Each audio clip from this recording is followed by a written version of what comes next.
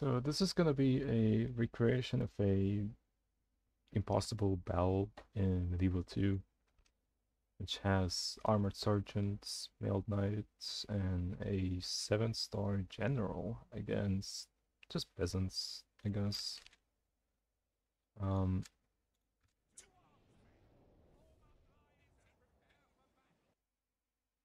so the strategy is to just cheese it, I guess, and grab the siege equipment. And that's literally it. You just win the battle. It's not even a draw if you take away their siege equipment. I don't know like why this works, but shut the fuck, please. Thank you. Alright.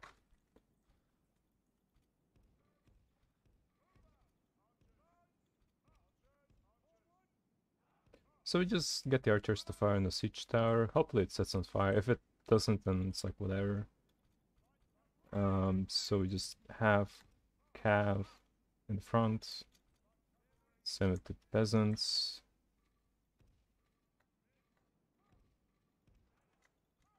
And the spearmen. Uh, the scav. The scav should be here. Um, so yeah.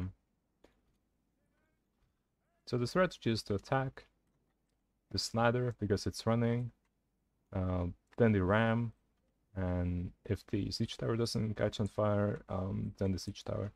I have my men split up so they can attack. Uh,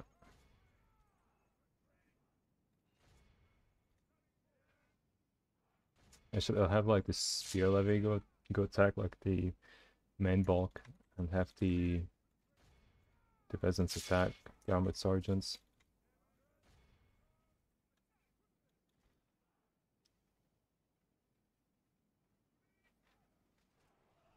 So they drop their ladder, which is good.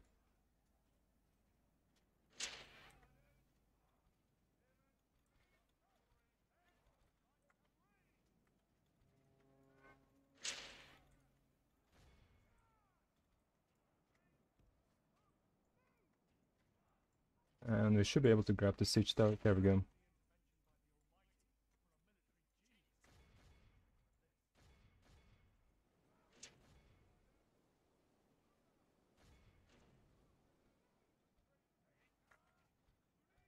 And grab this ram if possible. There we go. Ah.